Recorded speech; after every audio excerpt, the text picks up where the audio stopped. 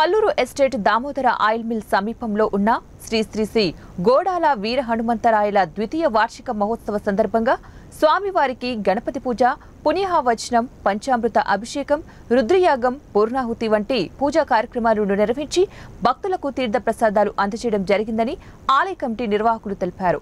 అంతేకాకుండా రాష్ట్ర వ్యాప్తంగా రాతి దూలం పందెం నిర్వహించడం జరిగిందని వాటితో పాటు కబడ్డీ లలితపీఠం బృందం వారి చేత కోలాటం తదితర సాంస్కృతిక కార్యక్రమాలు నిర్వహించారు అని తెలిపారు.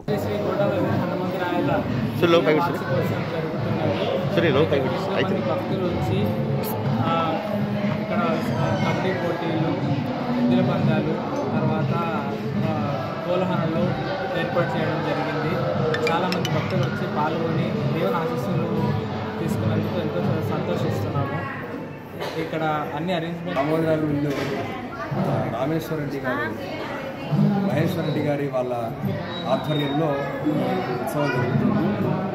రాజేశ్వర రాజేశ్వర రెడ్డి గారు సార్ రాజేశ్వర రెడ్డి గారు మన పూజలో పాల్గొని దీన్ని విజయవంతం చేశారు. భక్తులందరూ కూడా దీంట్లో పాల్గొని ఈ కార్యక్రమాన్ని విజయవంతం చేయవలసిందిగా కోరుతున్నాను జై శ్రీ.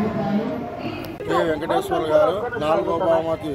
పూర్వ బీరప్ప గారు ఐదో బహుమతి మిసాల దేవాలని అలాగే కబడ్డీకి మొదటి బహుమతి దాత జంగం సంగమేశ్వరం కటమంచి రామారావు గారు మూడో బహుమతి తారకేశ్వర రెడ్డి గారు బీజేపీ జిల్లా అధ్యక్షుడు ఉపాధ్యక్షుడు అలాగే ఎన్ రాకేష్ గారు అలాగే బంజికే జగదీష్ గారు అలాగే ఆదినారాయణ గారు. ఈ కార్యక్రమానికి కబడ్డీ పోటీలకు బహుమతి దాతలు వీరు.